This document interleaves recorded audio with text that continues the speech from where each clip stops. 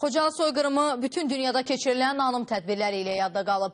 Qardaş Türkiyədə erməni təcavüzkarlarının Xocalılara qarşı törətdikləri soyqırımı qınaq obyektinə çevrilib. Türkiyə məscidlərində Qazi Qarabağ əzanı da səsləndirilib.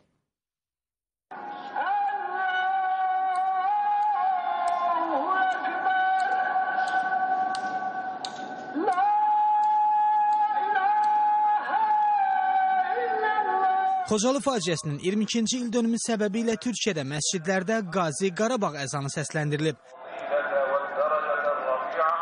Məscidlərə namaz qılmağa gələn əhaliyə Xocalı həqiqətlərindən bəhs edən dərcilər paylanıb. Azərbaycan dini qurumlarla iş üzrə Dövlət Komitəsi ilə Türkiyə Dəyanət İşləri Başkanlığının bircə gerçəkləşdirdiyi layihə qardaş ölkənin əksər vilayətlərində baş tutub. Ankarada Hacı Bayram məscidindəki əzan və namazda hər iki qurumun sədr müavinləri də iştirak ediblər. Qazi Qarabağ azanı erməni silahlı qüvvələri tərəfindən Dağlıq Qarabağ işğal edilənə qədər Qarabağdakı camilərimizdə oxunmuş azandır.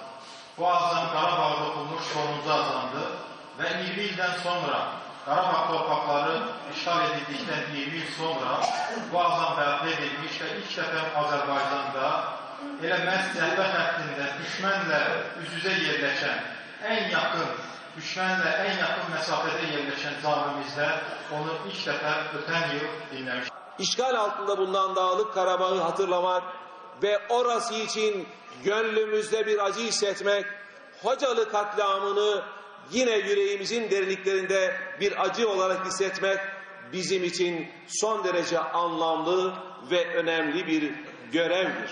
Əzan oxunduqdan sonra Xocalı soyqırımı ilə bağlı moizə səsləndirilib. Sonra namazlar qılınıb, Xocalı qurbanları üçün dualar edilib. Bugün Türkiyənin paytaxtı Ankara şəhərinin Keçiörən rayon ərazisində Xocalı şəhidlərinin xatirəsinə həsr olunmuş abidənin açılış mərasimi də keçirilib.